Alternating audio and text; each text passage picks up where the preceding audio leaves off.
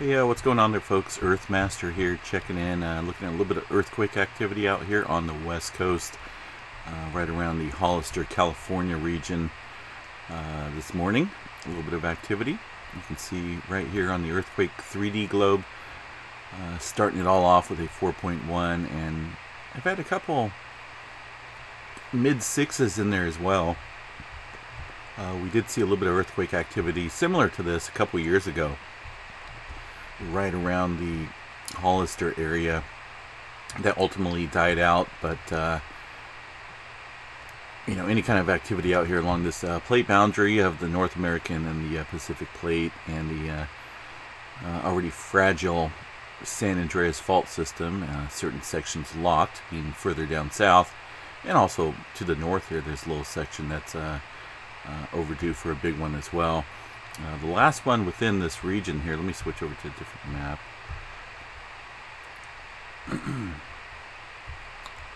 um. Guess I could show this one right here. Uh, okay, this one will work for a little bit. Excuse me. Anyway, uh, you can see the squares right here just south of the San Francisco Bay Area. I uh, got fairly large blue square uh, indicative of that 4.1 that struck uh, earlier today and also quite a few aftershocks following that 4.1 as well. But the last one was, last big one, uh, within the close vicinity under 30 miles was that 7.1 magnitude earthquake back in 1989. Uh, so this area is somewhat prone to large earthquakes, um, and they do happen. It is situated right on the San Andreas fault system right here. Um, let's go over here a little bit. Let's see if I flip this down.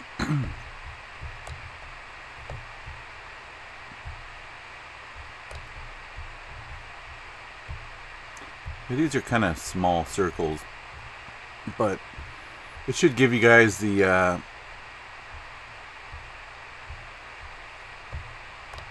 the view that I'm trying to point out here. This is just one day magnitude 2.5 and above, uh, just 11 earthquakes showing up here with the uh, 4.1 down here being the largest. And uh, like I said, many threes in there and a couple twos in there as well. But like I said, this is occurring right right there at the uh, San Andreas Fault Zone, the creeping section, so to speak. Um, but, you know, the, they've definitely had some larger earthquakes in the past um, happen within this area for sure. I'm trying to see where uh, there's Hollister right there. Okay, so you got Hollister just up here to the north of the area. Uh, this activity taking place, like say, right along, just or just right off the San Andreas fault section here, the creeping section. Um, I'm trying to think how far Hollister is from here. About, uh, what are we looking at? What, 10 miles, maybe 10, 15 miles from that area. So it's an area to watch, folks. I'm not saying anything big is going to happen out here today, uh, but it is giving me a signal and a sign that uh, pressure has definitely been building in this area, uh, even though it's a creeping section. Um, it's something to watch out for as they are prone to larger earthquakes out there in that region. Quite a few people feeling it, as in the Did You Feel It reports here. Let me show you guys this 4.1 um, Did You Feel It reports. Oh, of course it's going to go transparent. Not for sure. Let me see if I can get rid of that. Of course I didn't feel it. Um, um, um, um, um, um. Not for sure. It's kind of hard to see when it's like that. But uh, I was looking earlier, and definitely quite a few people felt it within the area. Of course, Hollister region, and um,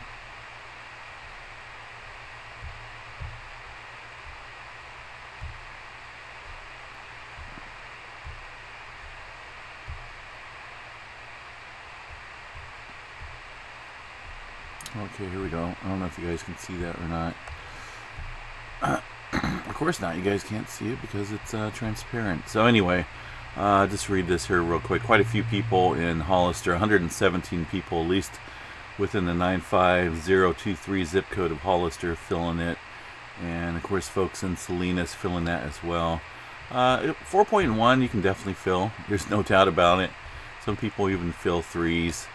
Um, but a 4.1 will definitely be felt by the most folks out there. And uh, that was the case today with this 4.1. I do have a Hollister station pulled up. I know it wasn't up during that 4.1 earthquake, but it is now um, showing here. Let me get rid of this map here real quick. It is showing up here. And this is a station right around where the epicenter uh, is taking place here in California. Hollister, San Andreas Station near Hollister, California. Uh, I did see a couple small aftershocks uh, just a few minutes ago showing up on that live station, but looks fairly quiet now. But anyway, um, so we'll watch this area. I mean, it's uh, kind of been, you know, I can't say it's been super quiet out here on the west coast. We do see our little earthquakes and twos and ones, and but we just really haven't seen any large earthquakes out here in quite some time. And of course, I, I remember as a kid, I'm sure everyone's heard it before. Uh, the big ones coming to California, you know, and it's just I heard, I remember that as a kid. My parents tell me that uh, California would fall off into the ocean. That's geologically impossible for California to fall off, uh, considering part of California is one plate and the other plate is, is the other part of California. So, you know, it's not going to fall off. There's a lot of liquid, li what's it called, liquefaction factors that could go into effect in certain areas, uh, like around Los Angeles down there. but uh, that's that's a worst case scenario if that were to happen. So anyway, uh, you know, just be on guard out there. California showing a little bit of activity, I should say, just a lot of activity today. Uh, myself, living here in California, I'm always trying to uh, be prepared. You know, for years at a time, I always keep cases of water, uh, extra gas. You know, I'm not saying I'm a, a doomsday scenario prepper, but I do keep handy stuff. You know that that one should always carry just in case. Have a backup: toilet paper, soda, beer, top ramen noodles, canned foods. You know anything you can think of that uh, could get you through a few days. Um, if something big were to happen and stores would be closed and you know looting would happen, you know just it's uh, it it's gonna happen eventually. the big one that is. But uh, for now, we're just seeing a little bit of activity along that uh, San Andreas fault system out there, out here, and uh, we'll keep an eye on it and update you guys on if uh, anything else happens out here. In the meantime, we get back to the live stream here. Uh, have a good day out there. We'll chat you guys a little bit later. It looks pretty windy up there at Yellowstone National Park and rather cold. Peace out, folks. Have a good day.